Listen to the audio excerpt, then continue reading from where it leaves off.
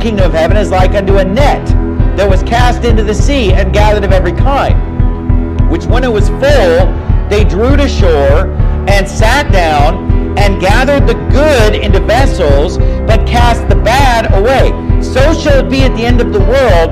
The angels shall come forth and sever the wicked from among the just, and shall cast them into the furnace of fire. There shall be wailing and gnashing of teeth.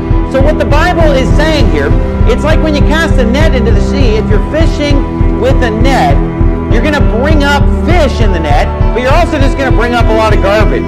Just what when you drag a net, you just catch everything. And there could be cans and bottles and just old discarded pieces of junk.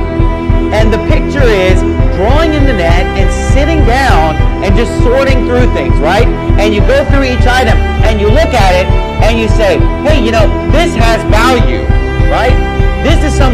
use this is worth something. I can at least recycle this or do something with this. But then you pull out another item and you say, you know what? This item is complete trash. I'm just going to throw it away. The Bible says that that's what it's going to be like at the end of the world, that the angels shall come forth and sever the wicked from among the just.